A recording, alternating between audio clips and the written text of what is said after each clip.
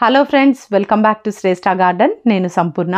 ఈరోజు నేను అలోవెరా మన గార్డెన్లో ఎంత ఉపయోగపడుతుంది దానివల్ల ఎన్ని లాభాలు ఉన్నాయి ఎట్లా వాడాలి మనం ఇదంతా కూడా నేను మీకు వీడియోలో క్లియర్గా చెప్తానండి. వీడియో స్కిప్ చేయకుండా చివరి వరకు చూడండి ఎటువంటి ఇన్ఫర్మేషన్ కూడా మిస్ అవ్వకుండా ఉంటారు.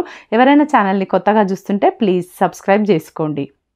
ముందుగా ఒక చిన్న ఇన్ఫర్మేషన్ అండి. నా దగ్గర అన్ని రకాల కాయగూర విత్తనాలు ఆకుకూర విత్తనాలు పూల మొక్కల విత్తనాలు కూడా ఉన్నాయి. ఇంకా అన్ని కూడా ఆర్గానిక్ ఫర్టిలైజర్స్ కూడా ఉన్నాయండి. మీకు ఎవరికైనా సీడ్స్ ఇంకా ఫర్టిలైజర్స్ కావాలంటే డిస్క్రిప్షన్లో నంబర్ ఉంటుంది. ఆ నంబర్కి మీరు వాట్సాప్ మెసేజ్ చేసినా సరే నేను మీ కేటలాగ్ పంపిస్తాను. లేదా మీరు డైరెక్ట్గా శ్రేష్ఠ గార్డెన్ డాట్ ఇన్ వెబ్సైట్లో మీరు చెక్ చేసి కూడా ఆర్డర్ చేసుకోవచ్చు. ఈ టైంలో చలి ఎక్కువ ఉండడం వల్ల పువ్వులు పూయకుండా ఉంటాయండి. కొంచెం ఆ- మొక్కలన్నీ కూడా స్ట్రెస్కి గురవుతూ ఉంటాయి. అయితే ఇలాంటి టైంలో మనము తీసుకోవాల్సిన కొన్ని జాగ్రత్తలు అయితే ఉన్నాయి. దాంట్లో గులాబీ మొక్కకైనా కానీ ఇంకెలాంటి మొక్కకైనా కూడా కానీ మనము ప్రతి పూల మొక్కను ఎండకు పెట్టాలండి. సన్లైట్ మరి ఎక్- తక్కువగానే వస్తుంటుంది మనకి చలికాలంలో. తొందరగా మనకి చల్లగా అయిపోతుంది ఈవినింగ్ టైమ్స్. మార్నింగ్ కూడా చాలా లేట్గా వస్తుంది కదా ఎండ. అలాంటప్పుడు మనకు మొక్కలకి కనీసం ఒక నాలుగు నుండి ఐదు గంటలైనా ఎండ తగిలే ప్లేస్లో మనము ఈ పాట్స్ని పెడితే మరి పువ్వులు అనేటివి చాలా బాగా పూస్తాయండి. మరి ఇంకా నెక్స్ట్ వచ్చేసి నెక్స్ట్ ప్రూనింగ్ అండి. టైం టైంకి మనము ప్రూనింగ్ చేస్తూ ఉండాలి. కొమ్మల్ని ఎప్పటికప్పుడు మనం అయిపోయిన పూలని మొక్క మీదనే పెట్టద్దు. ఇక్కడ చూడండి ఇట్లా పువ్వులు విచ్చుకున్నప్పుడు మనకు చాలా హ్యాపీగా ఉంటుంది. అలానే మనం ఇంకా ఇవి వాడిపోయి ఎండిపోయే వరకు దానిపైనే వదిలేస్తే ఆ మొక్క అందము పోతుంది ఇంకా వేరే పువ్వు రావడానికి కూడా అవకాశం ఉండదు కాబట్టి ఎప్పటికప్పుడు మనము కటింగ్ చేసేస్తుండాలి. అయిపోయాక వన్స్ ఆ ఫ్లవర్ని మనం ఎంజాయ్ చేస్తాం కదా ఒక ఫోర్ డేస్ ఫైవ్ డేస్ ఉంటుందా? మరి ఆ తర్వాత అది ఎప్పుడైతే వాడు ముఖం పడుతుందో అప్పుడు మనం ఆ కొమ్మని ఒక టూ త్రీ లీవ్స్ కింద నుండి కట్ చేసేస్తే మళ్ళీ అక్కడ నుండి కొత్త చిగుర్లు కొత్త మొగ్గలు కొత్త పూలు రావడానికి అవకాశం ఉంటుంది. ఇది మెయిన్ అండి. ఈ చలికాలంలో వాటరింగ్ చేయడం కూడా చాలా ఇంపార్టెంట్ మరి అంటే చల్లి చల్లగుందిలే అనేసి మీరు వాటరింగ్ చేయకుండా వదిలేస్తే కూడా ఆ మొక్కలు డ్రై అయిపోతాయండి అట్లా కాదు పాట్స్లలో కదా మనం పెంచేది. మట్టిలో తేమ చూసుకుంటూ మనమైతే కంపల్సరీగా వాటర్ తగు మాత్రం ఇవ్వాలండి ఎంత అవసరమో మొక్కకు అంత ఇస్తే సరిపోతుంది. ఇప్పుడు ఈరోజు ఫర్టిలైజర్ నేను ఏంటో చేసి చూపిస్తానండి అలోవెరాతో. ఇక్కడ చూడండి అలోవెరా పీసెస్ నేను తీసుకున్నాను. కొన్ని అంటే ఒక మీరు అలోవెరా మొక్క పెద్దగా ఉందనుకోండి ఒక నాలుగు ముక్కలు తీసుకొని మీరు అంటే మన గార్డెన్లో ఎన్ని మొక్కలు ఉన్నాయి ఎంత మనం ప్రిపేర్ చేసుకోగలుగుతాం అనేది మనం చూసుకొని చేసుకోవాలి. ఇక్కడ చూడండి నేనైతే ఒక పెద్ద బౌల్ అంతా తీసుకున్నాను ఇక్కడ. ఇది ఆర్గానిక్ కదండి కొంచెం ఎక్కువ తక్కువ అయినా నో ప్రాబ్లం చక్కగా పేస్ట్ చేసేసుకున్నాను. అలోవెరా జెల్ తయారైపోయింది కంప్లీట్గా. మనం ఆ లోపల అది మాత్రమే కాకుండా మొత్తం నేను పైన తొక్కతో సహా కట్ చేసి పీసెస్ చూసిరు కదా మీరు? ఇట్లా కట్ చేసేసుకొని ఈ విధంగా మిక్సీ జార్లో మనం మం- మంచిగా మెత్తగా పేస్ట్ లాగా చేసేసుకొని చూడండి ఇక్కడ ఇప్పుడు ఎంత బాగుందో ఈ పేస్ట్ నేను ఎంత క్వాంటిటీస్లో ఎట్లా డైల్యూట్ చేసి వాడతాననేది ఇప్పుడు నేను మీకు చూపిస్తానండి. ఇక్కడ చూడండి ఒక్క లీటర్ వాటర్కి ఒక్క స్పూను అలోవెరా జెల్ అంతే. ఒక్క స్పూన్ మాత్రమే సరిపోతుంది. ఈ ఇలా కలిపి మనము మొక్క మొదట్లో ఇయ్యడం వల్ల ఎన్ని ఉపయోగాలు ఉన్నాయంటే అసలు మీరు చెప్తే నమ్మరు కానీ మీరు ఒకసారి చెయ్యండి. చేసినాక రిజల్ట్ అనేది మీరే చూస్తారు మీరు కళ్ళతోని. చక్కగా అన్ని రకాల పూల మొక్కలకి కాయగూర మొక్కలకి పళ్ళ మొక్కలకి అన్నిటికీ ఇవ్వచ్చండి. ఇవి రూటింగ్ హార్మోన్ లాగా పనిచేస్తుంది అనమాట మొక్క రూట్స్ లేదన్న ఫంగస్ లోపట వేర్లకు వేరు కుళ్ళు ఉంటుంది. కొన్నిసార్లు ఈ నిమోటోడ్స్ లాంటి ప్రాబ్లమ్స్ ఇట్లాంటివి ఏమున్నా కూడా మరి అది స్టార్టింగ్లో ఉంటే ఒకవేళ నిమోటోడ్స్ అయితే అది అక్కడనే ఖతం అయిపోతుంది మరి మట్టిలో కూడా కొన్నిసార్లు పురుగులు ఉంటుంటాయి. ఆ పురుగులని కూడా మరి ఈ అలోవెరా జెల్ అనేది మరి వాటిని చంపేస్తుంది. రూట్స్ అనేటివి బాగా లోతు వరకు పెరిగి మరి లోట్స్ లోతు వరకు వేర్లు వెళ్ళినప్పుడు మొక్క అనేది హెల్దీగా పెరుగుతుందండి. గ్రోత్ అనేది చాలా బాగుంటుంది.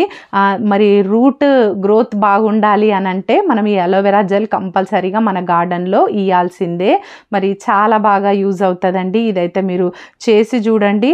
దీంట్లో చూడండి మనం సింపుల్గా చాలా ఇట్లా జస్ట్ పేస్ట్ చేసేసుకొని ఒక లీటర్ వాటర్లో ఒక స్పూన్ జస్ట్ అంతే. మీరు ఒక్కసారి ఐదు లీటర్ల బకెట్ తీసుకున్న ఐదు స్పూన్లు వేసేసుకొని అన్నిటికీ ఇచ్చేసేయండి శుభ్రంగా. సరిపోతుంది. నా మొక్కలకి నేను హాఫ్ ఆఫ్ మగ్గు మాత్రమే ఇస్తున్నాను. ఇప్పుడు ఎక్కువ అవసరం ఉన్న వాటికి ఫుల్ మగ్గు ఇచ్చేయండి పర్వాలేదు. ఓకేనా? ఈ విధంగా మనం అన్ని రకాల మొక్కలకి కూడా మనము ఈ ఫర్టిలైజర్ వచ్చేసి మనము వీలైతే ప్రతి పది రోజులకు ఒకసారి కూడా మనము ఈ అలోవెరా జెల్ అనేది మన మొక్కలలో ఇస్తూ ఉండాలి. ఎందుకంటే చాలామంది ట్రైకోడర్మా ఇవన్నీ వాడతలేరండి వాడరు. అయితే ట్రైకోడర్మా వాడని వాళ్ళకు కూడా ఇది చాలా ప్లస్ పాయింట్ అవుతుంది అంటే మట్టిలో పురుగు కానీ ఫంగస్ కానీ ఏదైనా వచ్చినా కూడా ఈ మ- అలోవెరా జెల్లో ఉండేటటువంటి ఆ మంచి గుణాలు వాటిని ఖతం చేసేస్తుంది. ఇప్పుడు నెక్స్ట్ మనము నేను ఇంకొక పద్ధతి కూడా నేను మీకు చూపిస్తానండి. నేను ఏదైతే పేస్ట్ చేసుకున్నానో అదే జార్లో కొన్ని ముక్కలు వేస్తున్నాను చూడండి. కొన్ని ముక్కలు ఈ అలోవెరా పీసెస్ వేస్తున్నాను. ఇక్కడ కొన్ని వెల్లుల్లి రెబ్బలు తీసుకున్నాను. ఒక ఏడు నుండి ఎనిమిది రెబ్బలు ఉన్నాయి ఇవి అంతే.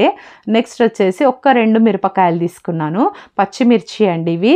ఇవి ఎంత బాగా పవర్ఫుల్ పెస్టిసైడ్ తయారవుతుంది అంటే అసలు మీరు ఊహించలేరు. ఇంకా పెస్ట్ అయితే చాలా బాగా పోతుంది. మీరు చక్కగా ఒక్క హాఫ్ కప్పు మాత్రమే వేయండి వాటర్ ఎక్కువ వేయకండి. వేసేసి మంచిగా మిక్సీ చేసేసుకోండి. దాన్ని కూడా చక్కగా పేస్ట్ అయిపోయేటట్టుగా చేయండి. కొంచెం నాది ఎక్కువ పేస్ట్ కాలేదు ఇది. ఇంకా అంటే చాలా మెత్తగా అయిపోయి ఎక్కువ అంటే అది మెదిగేటట్టుగా బాగా మీరు మిక్సీ చేసుకోండి. ఇక్కడ చూడండి ఒక ఖాళీ కంటైనర్ తీసుకున్నాను. దానిలోకి కంపల్సరీగా మనం స్ప్రే చేసేటప్పుడు మాత్రం ఫిల్టర్ చేసుకోవాల్సి ఉంటుందండి. దీంట్లోని ఎక్స్ట్రాక్ట్స్ అన్నీ వెల్లుల్లి మిర్చి నెక్స్ట్ అలోవెరా. అలోవెరా అయితే చేదు ఉంటుంది కదండి మనకు అందరికీ తెలిసిందే. వెల్లుల్లి ఘాటు మిర్చి అయితే కారం. ఈ మూడింటి ఇవి మూడు కలిసినప్పుడు అది ఇంకా ఎంత పవర్ఫుల్ ఉంటుంది ఆ పెస్టిసైడ్ అనేది ఒక్కసారి మీరు ఆలోచించుకోండి. ఇట్లా మొత్తం దానిలో ఉన్న ఎక్స్ట్రాక్ట్ అంతా కూడా తీసేసుకోవడానికి మనం ట్రై చేయాలి. ఇది ఒక కప్ అంత ఉందండి అంతే. ఈ కప్లోనికి ఇప్పుడు నేను ఒక లీటర్ వాటర్ యాడ్ చేసుకుంటాను. చూడండి ఇక్కడ. ఒక లీటర్ వాటర్ ఈ కప్ ఆఫ్ వాటర్లకు పెస్టిసైడ్లకు నేను యాడ్ చేసుకున్నాను. దీన్ని ఒక ప్లాస్టిక్ కంటైనర్లకు తీసుకుంటున్నాను. స్ప్రే బాటిల్ వేద్దాం అనుకున్నాను కానీ కొన్నిసార్లు ఈ అలోవెరా జెల్ కొంచెం చిక్కగా ఉండి ఇట్లా జెల్ జెల్గా ఉంటుంది కదా ఆ స్ప్రే బాటిల్లో నుండి కరెక్ట్గా బయటికి రాదండి. అప్పుడు మన స్ప్రే బాటిల్స్ కూడా పాడవుతాయి అందుకని నేను అప్పుడప్పుడు ఇలాంటి యూజ్ చేస్తుంటాను.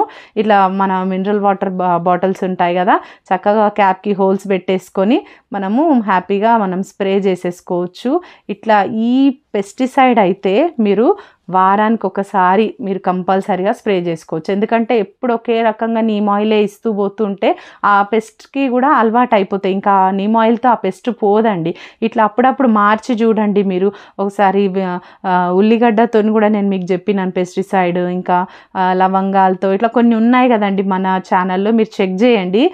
ఈ పెస్టిసైడ్ కూడా చాలా బాగా పనిచేస్తుంది. వారానికి ఒకసారి మీరు హ్యాపీగా ఇవ్వచ్చు ఇది ఆర్గానిక్ కాబట్టి మనము కొంచెం కొంచెం వాటర్ ఎక్కువ తక్కువ వేసినా కూడా మన మొక్కలకు ఎటువంటి ఇబ్బంది ఉండదు. ఈ స్ప్రే చేసేటప్పుడు మాత్రం మార్నింగ్ కానీ ఈవినింగ్ కానీ స్ప్రే చేయండి. ఈ చలికాలం అంతా పోయే వరకు మార్నింగ్ స్ప్రే చేయడమే కరెక్ట్ అండి. ఇదండి ఈరోజు వీడియో. మీకు ఇన్ఫర్మేటివ్ ఉందని నేను అనుకుంటున్నాను. వీడియో నచ్చితే ఒక లైక్ చేయండి. తప్పకుండా ఛానల్ని సబ్స్క్రైబ్ చేసుకోండి. పక్కనే ఉన్న బెల్ వచ్చేస్తుంది. ఈ వీడియో ఎలా ఉందో తప్పకుండా కమెంట్ చేయండి. Thank you.